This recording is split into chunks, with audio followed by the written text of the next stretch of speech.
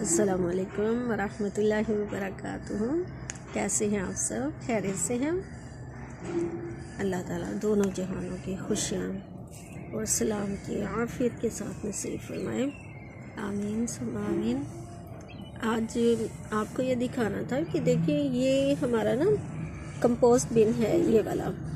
इसमें हमने अपने सारे जितने किचन वेस्ट और गार्डन वेस्ट है ना, वो सब हमने इसके अंदर तह बिछा के, उसके ऊपर मिट्टी डाल के। आपको पता है, आपने वीडियो देखी होगी, अगर आप नए हैं तो मैं बता रही हूँ। और फिर उसके ऊपर हमने सीडलिंग कर दी थी, यानी मूली, शलजम और ये रेडिश वगैरह। आप देखें इधर, ये देखें, माशाल्लाह, हमने तकरीबन मैं कल दो बार हमने हार्वेस्ट कर लिए। अब ये तीसरी, माशाल्लाह, तैयार है। तो हम, आप भी इसी तरह किया करें। जितना आप अपने गार्डन को यानी सफ़ाई करते हैं, उसके बाद जितना भी निकलता है ना वेस्ट चाहे एक मुट्ठी ही हो, आप उसको सेव कर लें, ठीक है? ऐसे, देखिए, मैंने तो कोई प्लांटर भी नहीं, मैंने तो ये देखे, ये बड़े बड़े बैग जो मिलते हैं ना, चावल, आटे के, इसको ही फोल्ड किया, इस, और इसमें तो होल करने की भी नहीं ज़रूरत है होल हो जाते हैं। देखिए, इसमें भी ऐसे ही ये सीडलिंग कर दी थी, ये देखिए रेडिश इसमें भी। देखिए, हमारा ये तैयार भी हो रहा है कंपोस्ट भी तैयार हो रही है और हमें वेजिटेबल भी मिल रही है। और वेजिटेबल तो बाज़ार से भी बड़ी सस्ती मिल जाती है। यानी ये तो आम है मार्केट से ले आते हैं, सब्ज़ी वाले भी गली में आ जाते हैं। मगर अपने हाथ से जो मज़ा आता है ना, हमें एक भी हमें हार्वेस्ट हो जाए, बड़ा खुशी होती है। ये खुशी वही जान सकता है, जो कि अपने हाथ से ग्रो करता है और फिर उसको हार्वेस्ट करता है। ये देखें आप।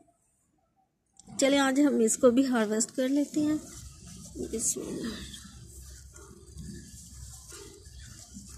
इसके साथ एक और छोटा सा इसका बेबी भी है, हम उसे छोड़ देंगे। बिस्मिल्लाह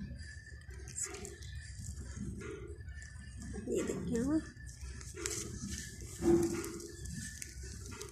ये देखिएगा। माशाल्लाह, कितनी खूबसूरत फ्रेश इसके लीव्स ये देखें आप। तो ऐसे सिर्फ़ दिखावा मकसद नहीं था। सिर्फ़ मकसद ये था कि आप भी जितना गार्डन वेस्ट हो, आप भी इसी तरह अपना जमा करें, उस पर कुछ ना कुछ सीडलिंग लगा दें। ठीक है ना? जो परमानेंट ना हो, जैसे टमाटर की हमने पौध लगा दी और मिर्च की लगा देखिए इधर भी हैं कितने। ये देखिए आपको शायद नज़र आएँगे। इधर भी हैं और भी ढूंढते हैं। आ, इसके अंदर हैं काफ़ी देखिए ये भी नज़र आ रही है। ऐसे हमने काफ़ी निकाल भी लिए ना तो ये देखिए माशाल्लाह कितने फ्रेश और ऑर्गेनिक। ये देखिए इधर भी। इसमें भी। ऐसे ही मैं सारा गार्डन वेस्ट है ना, जो इकट्ठा कर लेती हूँ, वो देखिए आपको बैग में नज़र आ रहे होंगे। वो सामने नज़र आ रहे हैं ना बैग वो कल हमने अपनी वो उतारी थी, वो क्या है हिस्पैरागस वाइन थी इतनी बड़ी तो वो उसका एक बैग भर गया, हमारा पूरा सहन भर गया था, उसकी सारी कटिंग कर दी, सिर्फ़ रूट्स छोड़ी हैं। और अब वो भी सूख जाएँगी ना, चार पाँच दिन में इंशाल्लाह, उसको भी फिर हम इसी तरह यूज़ कर लेंगे। जैसे अपना कोई प्लांट लगाया और उसके नीचे हम वो डाल देंगे सारा वेस्ट और ऊपर से मिट्टी डाल के प्लांटिंग कर देंगे इंशाल्लाह। ये देखिए इंशाल्लाह। ओके अगर आपको मेरी ये वीडियो भी अच्छी लगी तो प्लीज़ इसे like share comments and subscribe भी प्लीज़ कीजिएगा आप। लाइक भी किया करें। देखिए, जितने व्यूज़ आते हैं ना, उतने लाइक्स तो नहीं होते। तो आप लाइक भी तो करें।